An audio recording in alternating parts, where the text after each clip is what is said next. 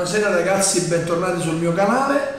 È una piccola pillola eh, riepilogativa di quello che è successo negli ultimi giorni. Voi avete visto l'unboxing o lo vedrete perché ancora non l'ho caricati tutti quanti. Comunque io avevo comprato dei fari della Newer da 660 LED dimmerabili tra luce calda e luce fredda sia utilizzabili sia a batterie, erano compresi gli stativi, e sia ad alimentazione di rete. Li ho restituiti perché? Perché utilizzarli a, a 660 LED prevedeva l'utilizzo di tutte e due le luci, quindi la media tra luce calda e luce fredda. Se io avessi voluto solo luce fredda o solo luce calda, avrei dovuto spegnere 330 led per una o per l'altra, nel senso che il faro è composto da 330 led di luce fredda e 330 led di luce calda, quindi se ne vogliamo o una o l'altra, il faro da 6,60 diventa 3,30. Ovviamente, come potete ben capire, la potenza viene dimezzata e l'utilizzo di qualche gelatina e filtro colorato frontalmente ne dimezza ulteriormente la potenza, diventando pressoché quasi inutilizzabili per l'utilizzo che ne volevo fare io, quindi in esterna quindi a, a, parte quello là da 660 che diciamo si può ovviare con un 900 LED, ho optato per il faro della Yonnuo che in questo caso però non essendo anche lui non essendo full LED nel senso non ha tutti i LED che cambiano eh, la temperatura colore ma ne ha la metà fredda e metà calda a questo punto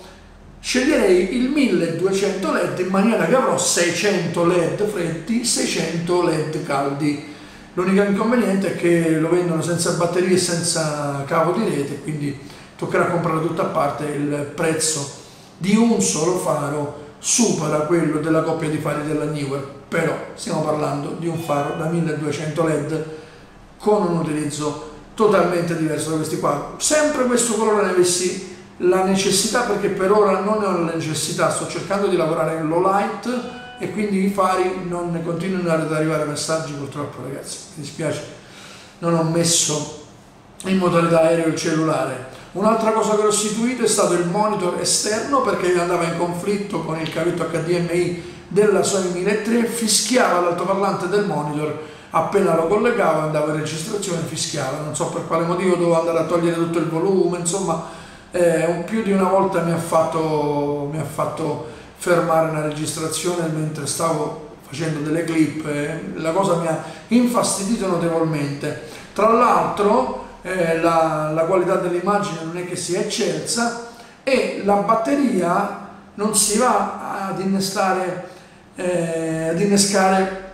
all'interno del corpo monitor, bensì va applicata una sorta di piastra dietro al monitor, come fosse la piastra di un monitor da computer, e poi con un cavetto si va nell'alimentazione, una cosa che mi dà molto molto fastidio perché se io voglio creare un'alimentazione doppia, cioè batteria e cavo di rete, e poi avere la possibilità di switchare con un interruttore a dire ok prendi la corrente dalla rete, prendi la corrente dalla batteria come si fa anche nei faretti di illuminazione, ciò non è possibile, mi ha dato fastidio anche questo, mi sembra di averlo detto anche durante l'unboxing, non ho fatto immediatamente la restituzione, mi sono dato qualche giorno di tempo, qualche giorno per testarla, non ne sono assolutamente contento, nonostante fosse stato un prodotto comprato con un'offerta lampo, pagato sì e no 60 euro, quindi molto molto meno rispetto al suo valore di commercio, pagato veramente poco, però quel poco ho preferito farmelo restituire perché il prodotto comunque non l'avrei utilizzato la Newer mi ha venduto anche un ARM, quindi un braccio mobile di 30 cm regolabile per poter attaccare il mio monitor esterno allo spallaccio, quindi quando siamo con lo spallaccio appoggiato ho il monitor esterno qui e posso controllare. Peccato che l'attacco sul, sulla barra d'alluminio del, del, dell'ARM, del braccio mobile, non sia così serrante tanto da mantenere il peso del, del monitor esterno e quindi mi sono ritrovato col monitor che poi faceva blum e se ne scendeva giù. Quindi assolutamente improponibile, messo nel pacchetto anche quello e restituito subito ed immediatamente.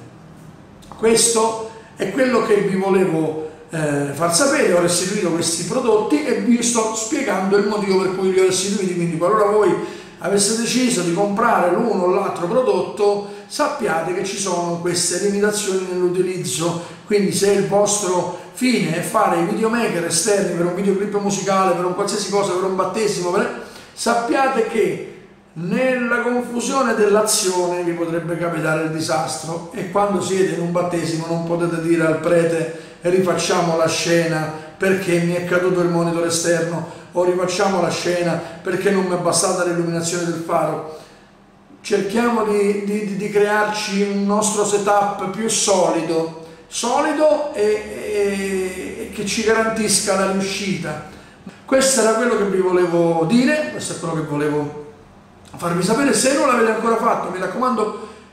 iscrivetevi al mio canale. E... Ah, a proposito del mio canale, io volevo fare il secondo canale, ma mi sono reso conto che purtroppo la mia vita ha i giorni di 24 ore e non di 48, quindi non riuscirei a gestire un secondo canale. Ho scelto quindi di dividere il mio canale in almeno due rubriche, la rubrica libera dove ci sarà io che gioco con la cucina, il blog, le quattro chiacchiere tra di noi, la diretta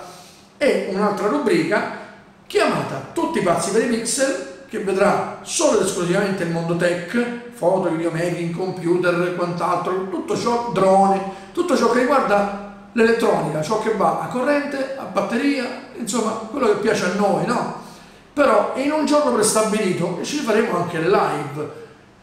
Il secondo canale è improponibile per ora da solo, non riesco a fare tutto e quindi abbandono l'idea del secondo canale, dividerò questo qui, quindi mi aiuterete qui anziché di là come vi avevo chiesto a far crescere ulteriormente il canale e suddividendo spero di non annoiare chi magari non vuole sentire parlare di tecnologia ma ama la cucina o chi vuole sentire parlare solo di viaggi e non gli interessa del computer quindi suddividerò questi due giorni. Cercherò di organizzare e programmare le uscite video precise sempre a tale ora, sempre a tale giorno in maniera che il panorama eh, ludico sia aperto e, e fruibile da tutti. Ragazzi con questo io vi ringrazio, vi rinnovo l'invito ad iscrivervi al mio canale, ad attivare la campanellina perché così ad ogni mio nuovo video verrò a rompervi le scatole con una bella notifica e condividetelo, condividete i miei video sui vostri social in maniera di invitare anche i vostri amici a far parte della nostra piccolissima community e far crescere il canale, fa molto molto bene a me e spero che quello che fa bene a me faccia bene anche a voi. Ragazzi, un bacio ciao!